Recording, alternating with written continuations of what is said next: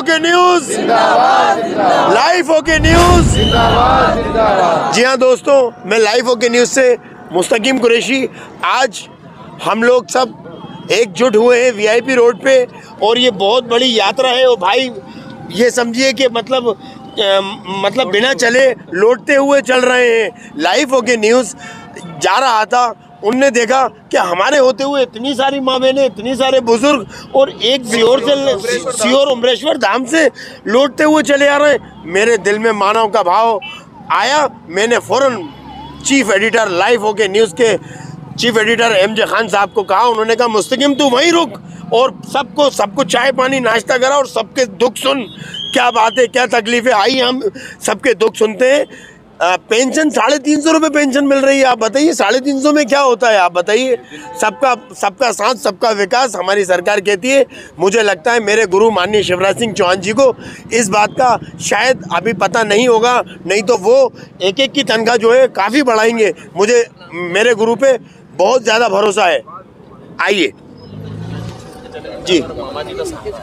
जी। आ, ये लीजिए अगली आवाज़ सुनेंगे आप हमारे भाई की। हाँ, मैं परशुराम कापड़िया जिला रतलाम से माध्यमिक शिक्षक हूँ। मेरी तो पेंशन अभी चौदह वर्ष पश्चात होगी लेकिन मैं जब घर घर इन सेवानिवृत्त और दिवंगत आश्रितों के घर गया तो इनका दुख दर्द मेरे से देखा नहीं गया।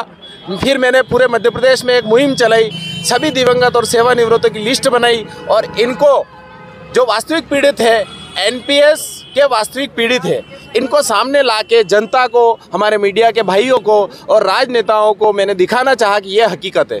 बिल्कुल। आप लाइव के न्यूज़ के बारे में क्या कहना चाहते हैं?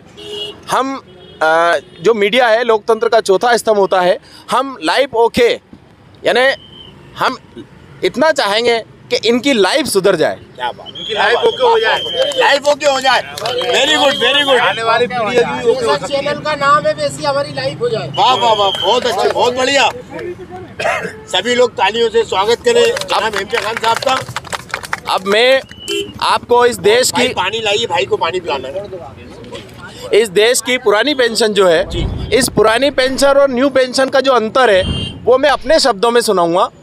वर्तमान में इन दोनों योजनाओं पे बहुत बहस चलती है। तो मैं इतना कहना चाहूँगा कि जो विदेश से पढ़ के आए हुए हैं आप लोगों को बदनाम किया जाता पेड न्यूज़। मैं नाम देता हूँ पेड अर्थशास्त्री पेड उच्च अधिकारी और पेड राजनेता। ये बोलते हैं कि देश में पुरानी पेंशन लागू करना पाप है। मैं दावे के साथ मैं दावे के साथ कहता हूँ कि मेरे सामने मेरी कक्षा में सभी अर्थशास्त्रियों को सभी अधिकारियों को मेरी कक्षा में बिठाओ मैं बोर्ड पे साबित कर दूँगा कि एनपीएस देश के खजाने से लूट है। ये साबित करके बताऊँगा। आए मेरे से बहस करे। क्या बात अब अब एनपीएस की परिभाषा सुन लो। देश में यदि मुगलों का जजिया कर यदि देश में मुगलों का जजिया कर गलत है यदि अंग्रेज़ी शासन की लगान गलत है तो परसराम कापड़िया कहता है कि वर्तमान शासन में एनपीएस पेंशन नहीं है भीख है। क्या बात है क्या बात है। बहुत बहुत बढ़िया बहुत बढ़िया। 2030 के बाद माननीय मोदी जी के नेतृत्व में निश्चित भारत आत्मनिर्भर बनेगा। उस समय मध्य प्रदेश में तीन लाख शिक्षक बीपीएल सूची में आके गरीब हो जाएँगे। ये हकीकत है एनपीएस योजना की। अब अग, अगली आवाज़ किसकी होगी?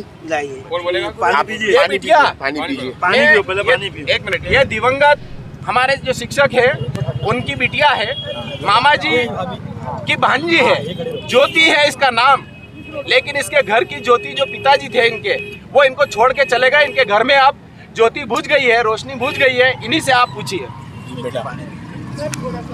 मेरा नाम ज्योति है।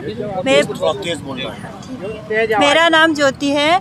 मैं अभी जो मेरे पापा है मुझे छोड़ के चले गए अभी एक मई 2022 को उन उसके बाद जो सरकार के द्वारा दिया जाता है अनुकंपा या मम्मी को पेंशन वो नहीं दिया जा रहा है। तो जो देश का भविष्य बनाते हैं शिक्षक आज हमारे ही उनके ही घर के भविष्य खतरे में है। हम अपना भविष्य कैसे बनाएँ? अगर वो अनुकंपा में भाई को नौकरी नहीं देंगे तो घर कैसे चलेगा? अगर मम्मी को पेंशन नहीं देंगे तो घर कैसे चलेगा? तो मामा जी से यही कहना है कि भाई को अनुकंपा से दिया जाए मम्मी को पेंशन दिया जाए ताकि हम अपना भविष्य बना सकें।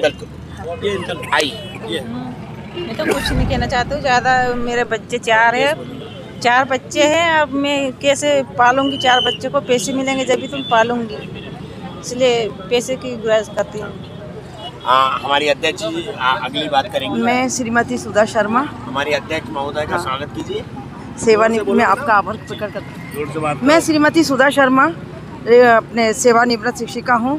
बस मैं दिवंगत आशीष सेवानिवृत्त सभी के लिए मैंने ये अपील मामा जी से करने जा रही हूँ और इन्हें दिवंगत लोगों को अनुकंपा नियुक्ति दी जाए और पुरानी पेंशन बहाल की जाए। ये जो सात सौ रुपये तीन सौ रुपये तेरह सौ रुपये सात सौ पचास ये जो पेंशन है इससे क्या हमारे को दवा भी नहीं मिलेगी?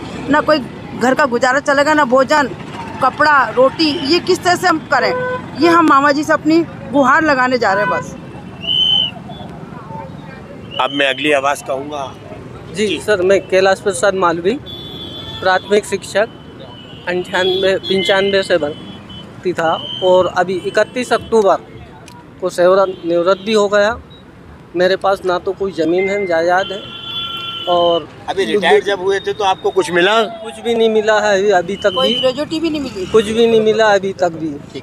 और मेरा परिवार लाइफ हो गए न्यूज़ आपकी बात वहाँ पहुँचाएगा जहाँ कोई पहुँचा नहीं पाएगा। भाई इन लोगों को ग्रेचुटी तक नहीं दे रहे। पेंशन तो बहुत दूर की बात है। जो मूल अधिकार है कर्मचारी का यदि कोई व्यक्ति हैं। प्राइवेट शोरूम में भी काम करता है प्राइवेट फैक्ट्री में भी काम करता है उसको भी ग्रेचुटी मिलती है मुस्लिम भाई।